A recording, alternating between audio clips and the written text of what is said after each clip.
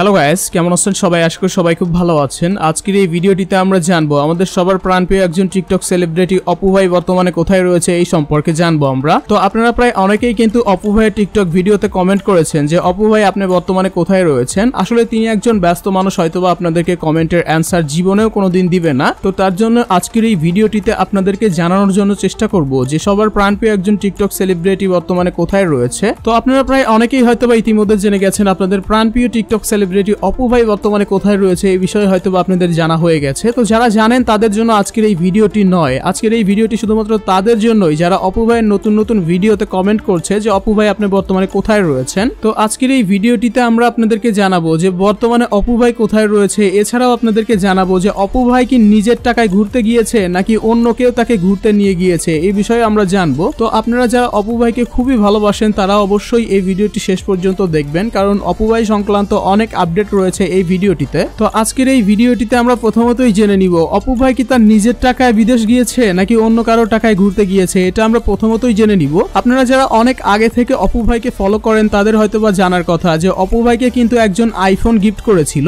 এছাড়াও অপু ভাই কিন্তু বলেছিল যে, আমার একজন ভাই রয়েছে, যিনি আমাকে প্রচুর পরিমাণে হেল্প করে ভিডিও বানাতেও হেল্প করে, এছাড়াও আমাকে পোশাক পাতি সবকিছু দিয়েই হেল্প করে। তো অপু ভাই ওই সময় অনেক ভিডিওতেই বলতো যে, আমার একজন প্রবাসী ভাই রয়েছে, যিনি আমাকে সবকিছু দিয়েই সহযোগিতা করে, আমাকে ফোন কিনে দিয়েছে, আমাকে ভালো ভালো ক্যামেরা কিনে দেয়। এছাড়াও আমি ভিডিও তৈরি করার জন্য সব জায়গায় যাই, যেখানে যাতায়াতে যত টাকা লাগে তিনি শুধুমাত্র পাঠিয়ে দেন। তো যাই হোক, এরকম কথা অনেকেই বলেছে যে, আমার একজন প্রবাসী ভাই, আমার নিজের ভাইয়ের চাইতেও বেশি ভালোবাসে তিনি আমাকে। তো যাই হোক, আপনারা প্রায় যারা অনেক আগে থেকেই ফলো করেন, তারা হয়তো বা এগুলো কথা অপুর মুখ থেকে শুনেছেন। তো ওই মানুষটি কিন্তু অপু ভাইকে আমাদের দেশ ছেড়ে অন্য দেশে ঘুরতে নিয়ে গিয়েছে। তো চলুন বন্ধুরা, এবার একটা গুরুত্বপূর্ণ বিষয় আপনাদের সাথে শেয়ার করব। তা হলো যে, অপু ভাই বর্তমানে কোন দেশে রয়েছে? অপু ভাই বর্তমানে রয়েছে দুবাইয়ে। দুবাইয়ে তিনি ভিডিও তৈরি করছেন যেই সকল ভালো ভালো প্লেস রয়েছে সেখানে। এছাড়াও তিনি হয়তোবা দুবাইয়ে ভালো ভালো ব্লগ ভিডিও তৈরি করছে। আগামীতে হয়তোবা তার ইউটিউব চ্যানেলে আপলোড দিবে। তো অপু ভাই যে বর্তমানে দুবাই থেকে টিকটক ভিডিও আপলোড দিচ্ছে, তার সেই ভিডিওগুলো কেমন লেগেছে আপনাদের কাছে? তা অবশ্যই কমেন্ট করে জানিয়ে দিবেন। এছাড়াও কমেন্ট করে জানিয়ে দিবেন অপু ভাইয়ের রেগুলার ভিডিওগুলো আপনাদের কাছে কেমন লাগে? আর আপনারা হয়তোবা অনেকেই জানেন, এই যে কয়েকদিন আগে ভাইরাল হয়েছে অপু ভাই। অপু ভাই কিন্তু একেবারে দরিদ্র ঘরের একজন সন্তান, কিন্তু বর্তমানে তার অবস্থান কোথায়? দেখেন, যারা তাকে রোস্ট করেছিল, তাদের অবস্থান কোথায় আর তার অবস্থান কোথায়? আমার মনে হয় টিকটক ফেসবুক ইউটিউবের মাধ্যমে অপু ভাইকে যারা রোস্ট করেছিল, তাদের লেভেল দেখেন একেবারে কোথায় আর অপু ভাইয়ের লেভেল দেখেন কোথায়? আসলে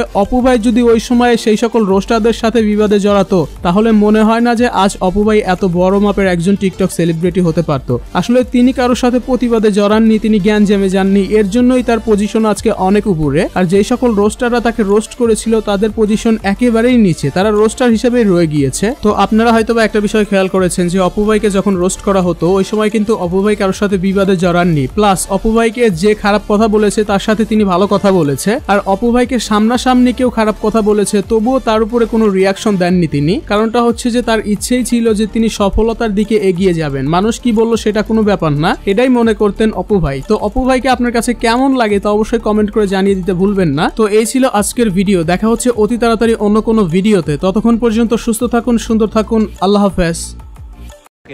গাইস আমি আসলাম দুবাইতে ঘোরার জন্য, ঠিক আছে? তো এখন এখানে এটা হলো ব্রুজ খলিফা। ব্রুজ খলিফায় আসলাম, ব্রুজ খলিফা দেখার জন্য। এখন আমি এখানে এসে দেখি আমাদের বাঙালি একটা ছেলে মানে ফেমাস মানে টিকটকে ভালো ফেমাস ওই ছেলেটা মাইর খেতেছে কেন জানেন? মেয়েদের পিছনে ঘোরার জন্য। মানে মেয়েদেরকে টিজিং করার জন্য পুলিশ ওর অনেক পিটাইছে। আমি লাস্টে এসে আমি বলছি যে, ও আমার বাঙালি ছেলে, ওকে ছেড়ে দেন। পরে আমি ওরে দেখেন, এই সেই ছেলেটা বুঝতে পেরেছেন।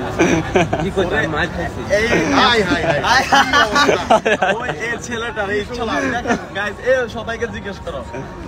গাইস ঠিক আছে ঠিক আছে? সত্যি আমি কি সত্যি বলছি? আমি কি সত্যি বলছি? আমরা কি সত্যি? আমি এটা কি সত্যি এটা বলছি? কি সত্যি বলতেছে? সত্যি বলছি। দেখেন। মায়ের কাছে তুমি আবার কও